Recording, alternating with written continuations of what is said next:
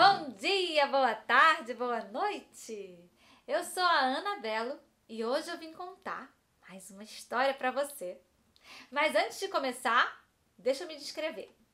Eu tenho a pele clara, os olhos castanhos, os cabelos cacheados e ruivos e estou usando uma blusa de renda bege.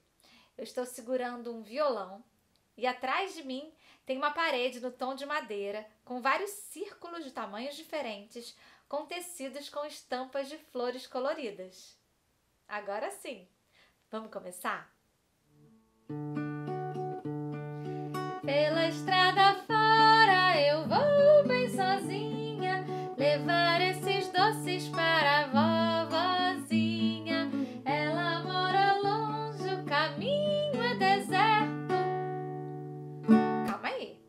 história não é essa. A história de hoje é da Chapeuzinho, mas é uma outra Chapeuzinho. É a Chapeuzinho de Palha e o primeiro livro da autora Sandra Imone com ilustrações de Pierre Trabold. Belinha estava sentada num tamborete da cozinha, em frente a uma prateleira de mantimentos. Ela tinha acabado de aprender a ler na escola e, para se distrair, lia o que estava escrito nas embalagens de todos os produtos. Sua mãe arrumava vários doces numa cesta. Quando acabou, disse: Isabel, vá entregar essa encomenda na venda da dona Chica. Isabel era ela. Belinha era só apelido. A mãe de Belinha fazia doces para vender e às vezes pedia para a menina ir levar. Belinha pegou a cesta, mais um chapéu de palha, que o sol estava forte. Hum. Saiu pensando: em vez de ficar lendo o nome de sabão, ia ser muito melhor se eu tivesse um livro só meu para ler. Ai, como ia ser bom ter um livro só dela. Eles iam ser tão amigos. O livro ia contar história para ela e ela ia cuidar muito bem dele. Não ia deixar sujar, rasgar, nem amassar, nem um tiquinho. Sempre que acabasse de ler, ia guardar na gaveta para não perder. Mas em troca, esse livro tinha que contar uma história bem bonita, com princesa, fada, bruxa, igual as que tinha na escola. Ai, Belinha saiu andando e pensando: ai, como seria a história do primeiro livro que ia ter? Bem que podia ser a história de uma menina chamada Chapeuzinho de Palha. Ah, ela também ia levar uma cesta de doces, só que para o castelo da rainha Dona Chica. A cesta tinha bijus de tapioca, quindins e bolos de macaxeira, seus doces preferidos. A rainha Dona Chica, na verdade, era uma bruxa.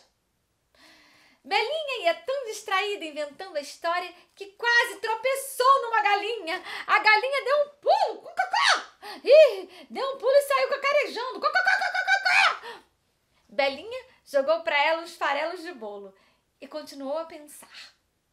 De repente, Chapeuzinho de Palha encontrou uma galinha.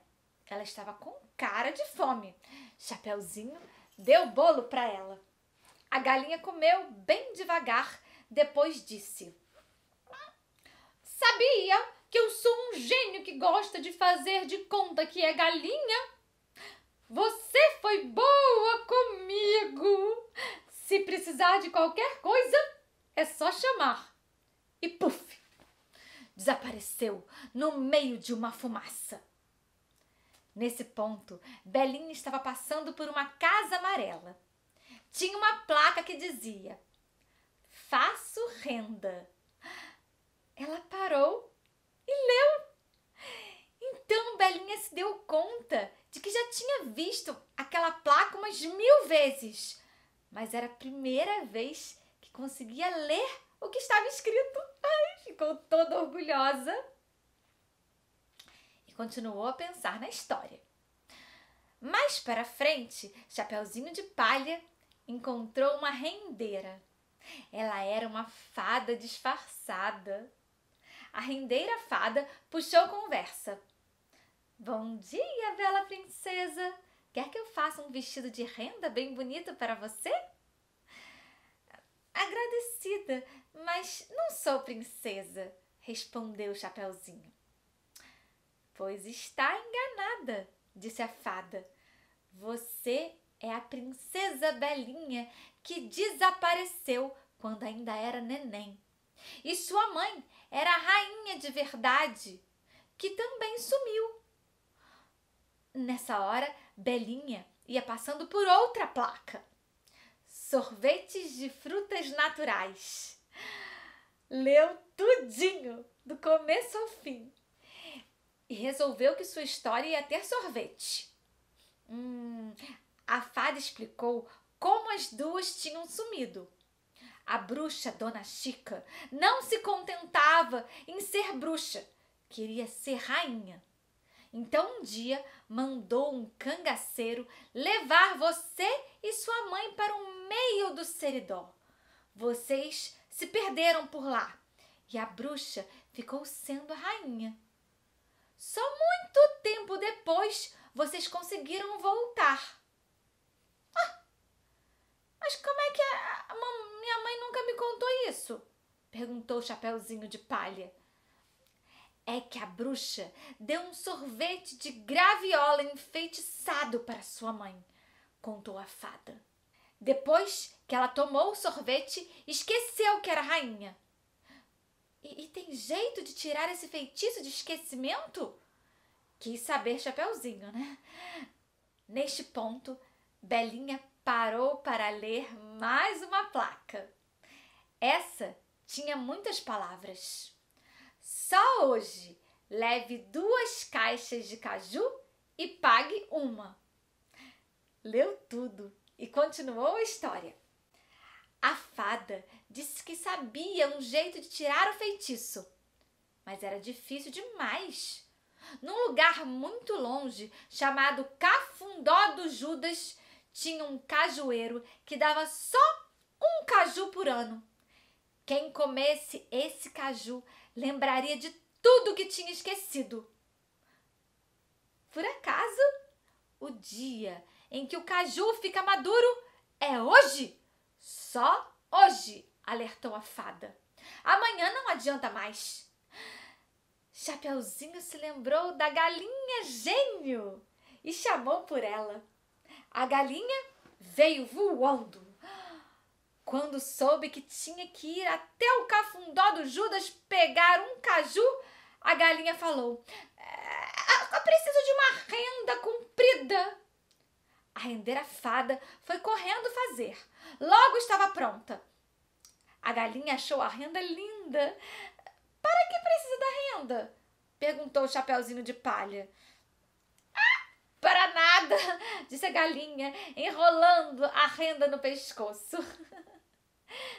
É, é, sempre quis ter um cachecol de renda. Então vá logo, apressou a menina. A galinha foi num instante e trouxe no bico o caju do cafundó do Judas. Então, Chapeuzinho de Palha pediu a rendeira para fazer dois vestidos bem bonitos, um para ela e outro para sua mãe. E voltou para casa. Assim que sua mãe mordeu o caju, lembrou que era rainha. As duas colocaram seus vestidos novos e foram com a rendeira fada e a galinha gênio até o castelo. Quando chegaram, encontraram o chefe dos guardas do castelo, que era um gato. É proibida a entrada, ele disse. Mas ao saber que a mãe de Chapeuzinho de Palha era a rainha verdadeira, o gato mudou de ideia. Ele contou que já tinha sido um rapaz, mas foi transformado em gato pela bruxa Dona Chica. Estou às suas ordens, minha rainha, disse. Mande e obedecerei. Nhau. Quero que tire essa bruxa do meu trono. Quero que essa malvada seja levada para o reino do chique-chique, onde tudo é espinhento. o gato entrou na sala do trono onde estava a bruxa Dona Chica e deu um berro. Renda-se! Dona Chica admirou-se do berro, do berro que o gato deu, e logo foi levada para o reino do Chique-Chique, onde tinha que tirar todo dia os espinhos do colchão. Depois, a galinha gênio e a rendeira fada combinaram de desencantar o gato. Ele foi desencantado do jeito que queria. E era um rapaz muito educado, bonito e sabido. Em pouco tempo, Chapeuzinho ficou apaixonada. Enquanto imaginava o casamento de Chapeuzinho de Palha, Belinha se deu conta que já tinha chegado ao lugar onde tinha que entregar os doces. Encontrou a filha da dona Chica de verdade, que era uma moça muito boazinha. Ela pegou o cesto, pagou e disse: Espera aí, Belinha, eu vou te dar uma coisa. Foi lá dentro e voltou com um livro cheio de desenhos coloridos, dizendo: Toma, ele era meu. Belinha ficou sem fala. O livro era tão bonito. Olhou as primeiras páginas e disse: Está quase novo. Era seu mesmo? Era sim, respondeu a moça. Ganhei quando aprendi a ler e sempre cuidei muito bem dele. E continuou: Eu sabia que quando ficasse moça ia querer dar esse livro para outra pessoa, outra criança, e que ela ia gostar dele tanto quanto eu. É a história de uma princesa. Uma princesa como você. Princesa? Belinha não entendeu nada. Aí a moça apontou para a placa onde estava escrito o nome daquela rua. Belinha leu: Rua Princesa Isabel. Princesa Isabel! Isabel era ela, Belinha. Agradeceu toda feliz, abraçou o livro com força e foi para casa andando com cuidado, como se tivesse que equilibrar uma coroa na cabeça. Então, você gostou dessa história? Ah, que tal agora a gente fazer uma atividade bem legal? Separa aí na sua casa uma folha, pode ser branca ou da cor que você quiser, barbante, cola branca, lápis e canetinha. Vamos começar? A gente vai fazer um chapéu de palha e depois vai passar o barbante por cima. Então, eu vou, você pega aí o seu lápis, eu vou fazer de canetinha aqui para você conseguir enxergar melhor, tá bom? No meu desenho. Então, primeiro, eu vou fazer, ó, um, uma coisa como se fosse um, um, uma boquinha triste, olha. Ele é meio assim para baixo. Aí aqui nas pontinhas vai subir, ó, uma hastezinha e outra hastezinha. Viram? Agora a gente vai fazer como se fossem umas ondinhas. Ele vai até parecer meio uma coroa, olha só. Lembra que ela falou que ela era uma princesa? Olha, ficou parecendo uma coroa. E para terminar, a gente vai fazer assim, ó, subir aqui, subir aqui e botar a tampinha. E tá pronto o nosso chapéu de palha. Agora vamos para a segunda parte. Passei cola no contorno debaixo do chapéu. Agora peguei o barbante, um pedacinho, e vou começar colando. Pronto, já fiz a parte de baixo toda do chapéu. Sobrou um pouquinho de, de barbante que eu vou cortar esse excesso para fazer o mesmo na parte de cima. Pronto, agora eu já colei o barbante em todo o chapéu. Ele ficou com uma marquinha preta, mas o seu você não precisa botar embaixo de canetinha. Você bota só a lápis e aí ele vai ficar só o barbantinho. E agora, depois que a cola secar, a gente pode colorir o nosso, o nosso chapéu de palha para ele ficar bem colorido. Na videoaula de hoje, a gente ouviu a história Chapeuzinho de Palha e o meu primeiro livro e aprendemos a fazer uma atividade com barbante e desenho.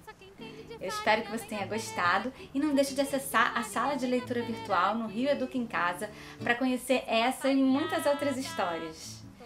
Eu te vejo no próximo encontro. Tchau!